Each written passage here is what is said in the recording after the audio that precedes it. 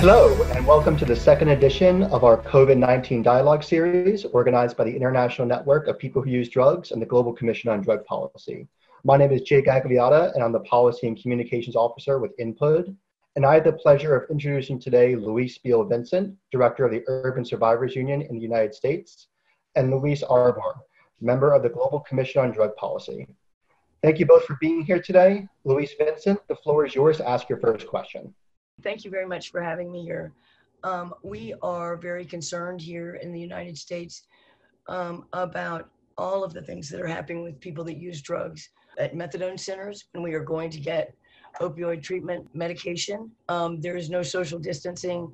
Do you have any thoughts on this? Um, on policies that we could we could implement or how we can better protect people that use drugs, their health, their dignity, their safety? Yes. Uh, good to talk to you, Louise. For the first time, I think, ever, the whole world is attuned and concerned with health type issues. That's the good news because it means for the first time, I think we have at least some hope of mobilizing people to care in a much less judgmental way than before. What you've um, uh, mentioned, though, is what do we do in the shorter term? What do we do tomorrow for people who are enormously at risk. And you can imagine it's even worse for people who are uh, incarcerated. Yes. So we've had years of people who use drugs dying of overdose um, and and not and and without the mobilization required. And now we have um, people dying in prisons, and and I'm so worried about that. And I would love to hear hear your thoughts. Well, you know, this is another area where bizarrely, we may see good things happening, maybe not for the right reasons. For instance, we may see a lot of people released from incarceration uh, just because the authorities are going to fear losing control over the pandemic in these severely overpopulated prisons. Certainly in Canada, there's a movement to advocate for the early release of some people who are incarcerated and for the most part, it's going to be so called drug offenders because they're typically numerous and nonviolent.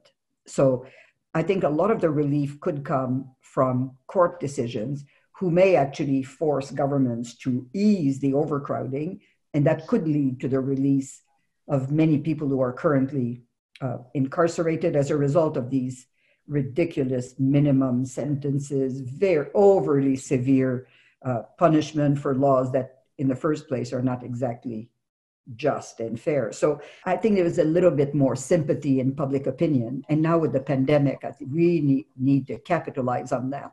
I'm in the US South. Um, we are beginning to go back to business as usual. How do we make sure we don't waste this enormous this enormous opportunity for change? The question of public health has never been more at the center of government's preoccupation, along with the economy, but that's not hard to get their attention on the economy. They're always there.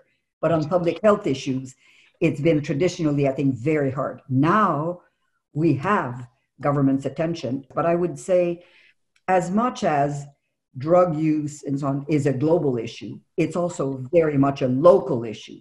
Yes. And I think if we could make a lot of progress with people like you locally, with the local authorities, municipalities, communities. I think the real change is likely to come from people like you, and of course, any support that we could give, you know, will be there.